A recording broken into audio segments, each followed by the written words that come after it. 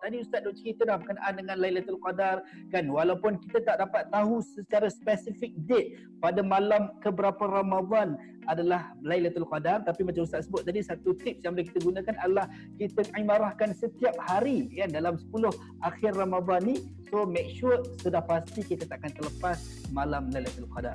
Ah, Okey Ustaz, so kita nak nak, nak nak nak tahu dengan lebih lanjut berkenaan dengan Ustaz cerita tadi 4 AM Club Challenge ni macam mana sebenarnya approach 4 AM Club Challenge ni kalau mungkin mereka yang menonton dan sedang mendengar ni nak join sama Ustaz.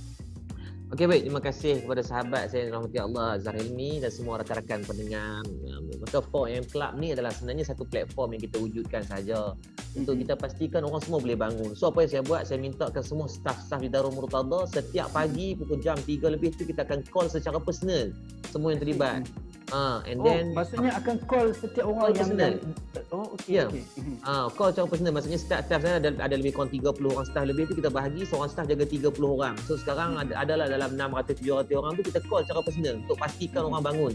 Ah, nah, itu yang pertama. Yang kedua kita akan hantar push notification daripada uh, 4am club tersebut dan siapa yang yang ada yang join 4am club tu Allah SWT uh, kita sarankan kita akan bagi link untuk dia download Tadarus Online, app Tadarus Online secara percuma, tak ada tak ada bayaran hmm. apa-apa.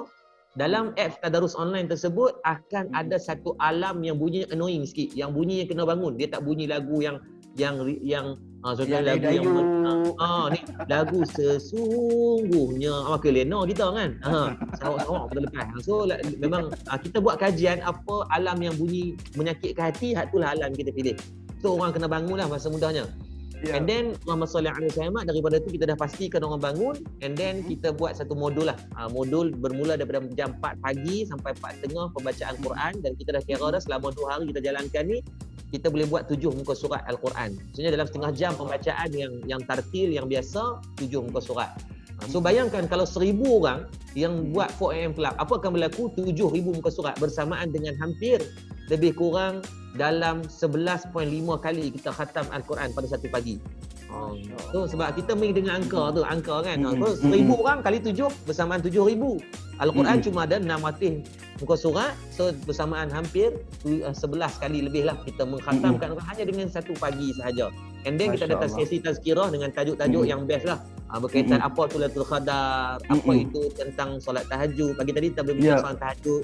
Ha, untuk mm-hmm. pagi saya lagi insya-Allah saya akan bercakap tentang apa itu hikmah Lailatul Qadar dan mm-hmm. ada pendapat contohnya Ibu Ibnu Mas'ud dia sebut dalam uh, pendapat dia pada malam 27, Imam Syafi'i sebut pada malam 23. Ada mm-hmm. Ibnu Abbas ada sebut pendapat dia. So akan saya akan bincangkan secara detail pada waktu pagi sekali lah insya-Allah. Mm-hmm. So yeah. kita bukan nak balah pada hari apa. Kita nak suruh yeah. buat semua. Senang. Karena kita tak nak jadi hamba yang berkira-kira dengan Allah. Karena kita nak jadi hamba yang bertakwa buat tanpa kita mengharapkan sesuatu. Ana dan insya-Allah pada jam 5 5 pagi akan ada zikir munajat dan juga uh, selawat lah. Uh, sampai pukul 6 pagi. So sampai subuh, sampai azan. Uh, barulah kita akan habis. Nah, so, so macam Ustaz kalau boleh boleh kongsikan macam mana caranya kalau uh, orang sahabat kita yang sedang mendengar dan juga menonton ni mungkin nak join sama. So uh, uh, apa dia punya dia punya uh, cara pendaftaran dia uh, yang nak mendaftar okay. nak join. Okey baik. Uh, bila sebut tentang cara mendaftar boleh buka di madatcenter.com madatcenter.com m a d a d c e n t r e .com uh, madatcenter ha, ha central.com ha. Ha, dia bunyi macam speaking London sikit.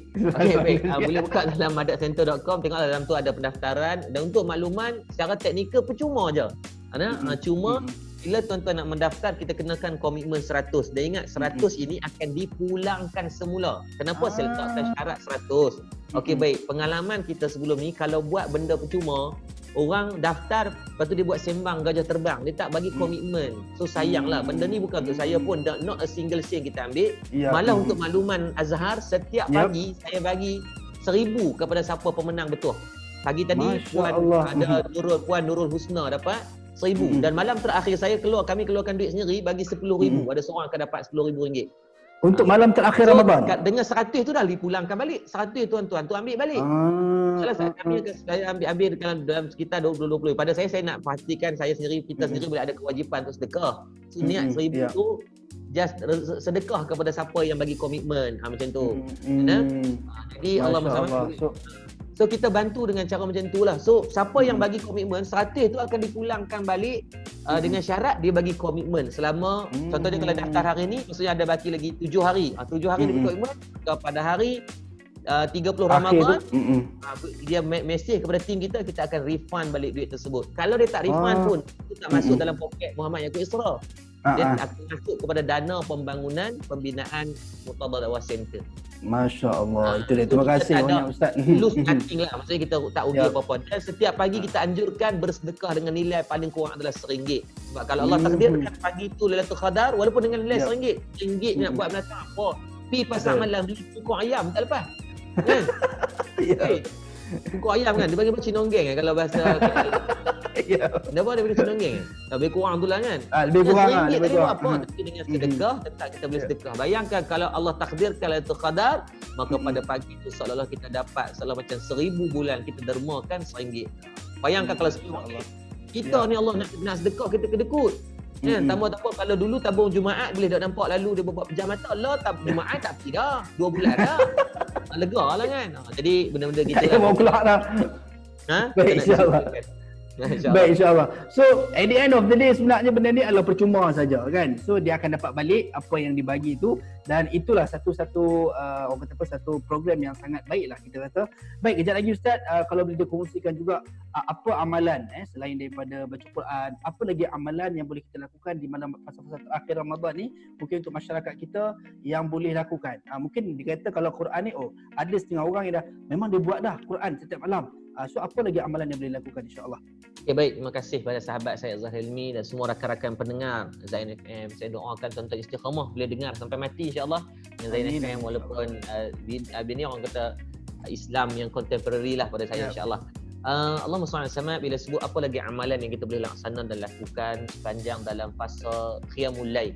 Yang pertama kita faham dulu apa makna Qiyamul Lail. Saya kata semua nak Lailatul Qadar. Maka konsepnya ya. bangun Qiyamul Lail. Apa itu Qiyamul Lail? Qiyam ni adalah maksud kita bangun pada waktu malam. Hmm. Qiyamul Lail tidaklah diwajib dan disyaratkan hanya dengan solat. Cuma kelaziman yang baginda Nabi SAW buat adalah Nabi akan solat malam. Karena sebab tu usahakan ada solat tasbih. Mm-mm. Nabi kata kalau tak boleh setiap malam, buatlah seminggu sekali. Tak boleh seminggu sekali, buat sebulan sekali. Tak boleh sebulan sekali, buatlah setahun sekali. Tak boleh setahun sekali, buat seumur hidup sekali. Usahakan solat tasbih.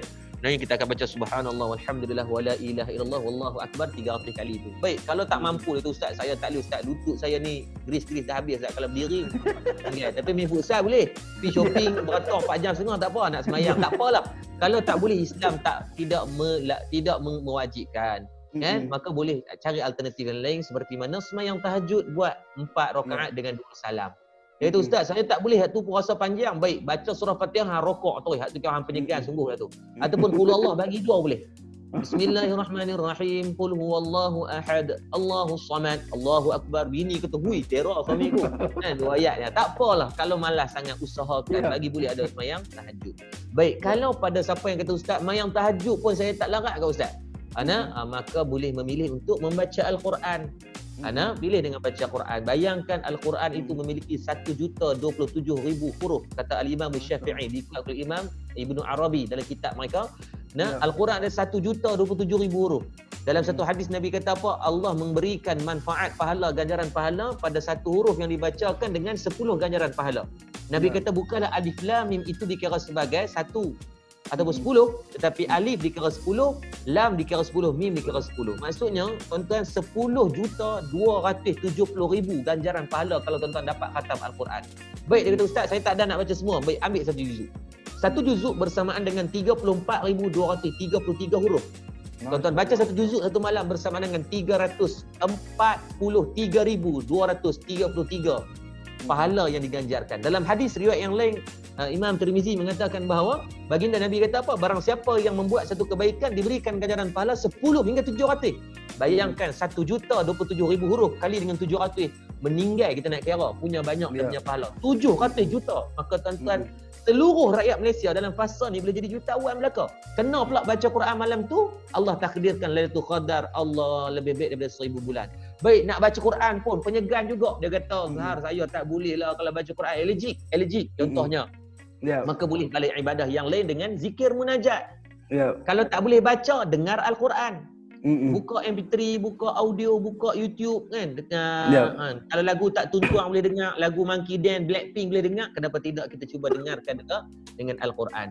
Baik, tak ya, boleh dengar pada kata ustaz, telinga saya ni sakit ustaz kalau dengar. Baik, maka tak boleh. Kita boleh pilih apa selain daripada tu contohnya kita belajar pagi-pagi mm-hmm. setiap malam disiplinkan diri kita ada buka kuliah mana-mana ustaz yang kita minat dengar mm-hmm. maka kalau Allah takdirkan itu qadar bersamaan dengan kita mengaji selama seribu bulan baik pada Masya yang Allah. paling koman cak ayam sekali mm-hmm. ha, ini kira koman sepanar lah Eh, yep. Kalau tak boleh buat, maka pada ibu-ibu, kakak-kakak yang bangun pagi menyediakan sahur, kalau mm-hmm. Allah takdirkan pagi itu Lailatul Qadar, seperti mana kita bangun menyediakan sahur dan makanan seperti seribu bulan kebaikan. Bayangkan yeah. masak seribu bulan, gila punya lama. Sebab tu mm-hmm. kalau boleh sepuluh malam terakhir, esok kita pergi kempen dekat jiran sebelah. Kata kat dia, jiran, hang jangan masak dah. Aku tolong masak esok pagi. Bersamaan yeah. kalau Lailatul Qadar, kita bagi jiran makan selama seribu bulan kebaikan dia. Oh, Masya, Masya Allah. Allah. Para suistri, bangun pagi-pagi kan, Bangun pagi-pagi dia masak, dia ambil lesung batu, dia tumbuk.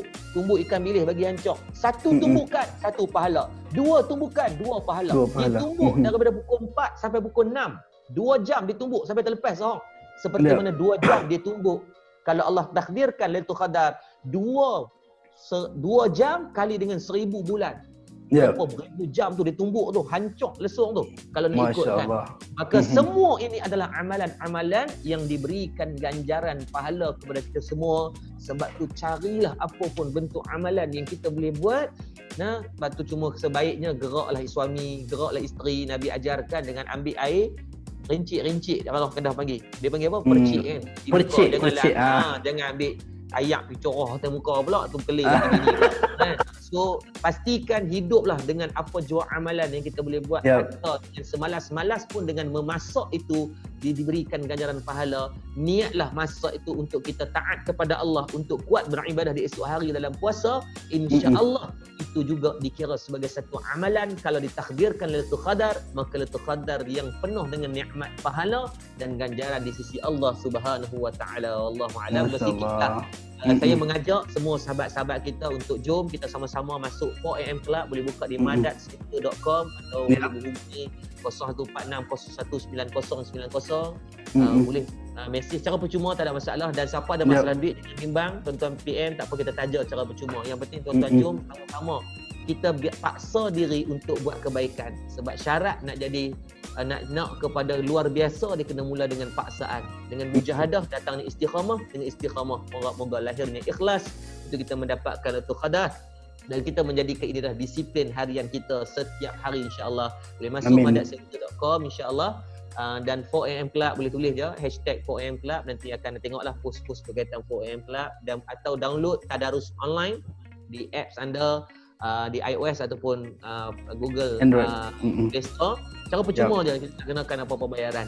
Anda mm-hmm. cuma kita harapkan seramai mungkin orang boleh dapat manfaat berkat yep. Ramadan akhir ini untuk kita dapat pahala sebab mungkin dengan asbab di mana Zayan menyediakan platform untuk bagi menyebarkan dakwah dengan cara hiburan dengan hiburan hmm. pun apabila dengan ibadah yang kita lakukan insya-Allah. Wallah. Amin insya-Allah. Baik jazakumullah khairan jazak. Terima kasih banyak kepada Ustaz Al-Fadhil Ustaz Umar Yaakob Yusra uh, kepada anda yang mungkin nak join sama-sama jangan lupa madatcenter.com Ustaz eh. Ya. Yeah. Ah, madatcenter.com insya-Allah. Dan itu dia moga-moga kita dapat mengimplementasikan amalan-amalan yang disebutkan tadi dalam kehidupan kita dan the most important thing adalah fasa-fasa terakhir Ramadan ini kita nak terus imarahkan kita nak terus hidupkan supaya kita keluar daripada madrasah Ramadan ini menjadi hamba Allah yang bertakwa insya-Allah.